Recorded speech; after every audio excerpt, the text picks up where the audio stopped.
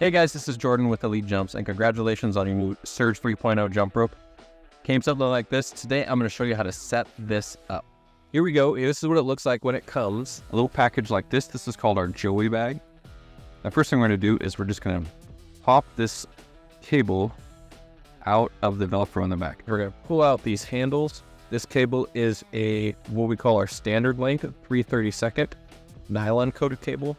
It'll have a little bit of a coil when you first uh, pull it out. Don't worry about that. That will come out. You can see it's already coming out. There's a little screw on the inside. Now there's a handy tool in the bottom of these handles, and this is how the pros do it. Unscrew that guy. We'll do that with both handles. Hey, well, you just want the, the handles facing the same direction. So instead of having the offset eye different on each side, you want the offset eye the same on each side. So we'll pull one all the way through. This screw on this end with the cable stop, you do not want to tighten this down. The reason you don't want to tighten this down is because when you jump with this, if it's tight on the cable, it will put memory, it'll put coils into the cord. So we just want to tighten it down enough but the disc is still free spin. Okay, so that's still free spinning. Now at the other end, we are actually going to tighten this side down, and this is just for the purpose of sizing. So we'll tighten it down on the end, and now we can size our jumper.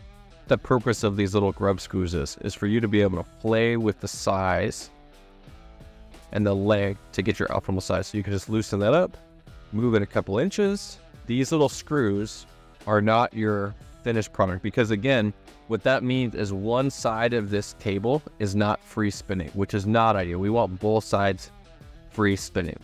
So what we're gonna do is once you find your optimal size or you feel like after a couple workouts that you have it right where you want it, that's when we loosen this cable up and then you'll notice in your bag, you have two pieces. There's an extra grub screw in case you lose one of these grub screws, which does happen. If you have a nice pair of cable cutters, these are our cable cutters. Um, we love these because they're small yet mighty.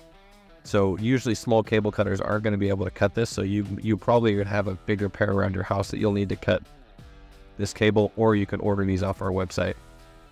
But you'll cut the excess. Let's just say that that's the excess you want to cut off. So you cut off the excess cable so you don't have some free spinning and you'll put the cable stop on the end like so. And then these are handy to just whack on. So I have a hammer and a little anvil here. Well, let's just see if I can do all of this together. Place that on there. So that's on there real tight now. And now you'll see that both ends are free spinning, which is what you want. When you're actually doing, when you've actually settled on your size, you don't want this tight on the cable. You want it free spinning. This is, again, these this little screwdriver and grub screw setup is just for making size adjustments on the fly. So when you're ready to put this away, we're going to take the Joey bag out. And what we're going to do is we're going to slide one end of, or one of your handles down to the other one. So they're together. Okay, now they're together. Now we're going to take this cable and hopefully you can catch this, but you just put a little twist in it each time. You want it about that, that big, and you just put a little twist with your finger. It'll rinse out.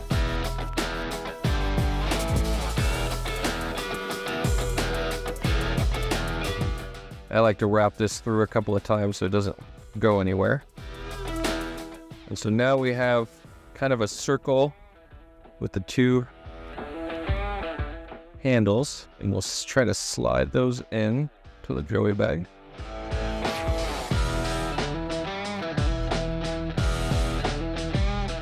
And we'll put the Velcro over the top and then we'll do the same on the bottom. And now it's tightly stored for the next time you want to jump. Okay, so that's how you set up your jump rope. If you have any troubles with it, or if you have any questions, please feel free to give us a call, send us an email. Our USA customer service team would love to help you. It's important to us that you're able to set this up correctly so that it works well for you and that you enjoy using it.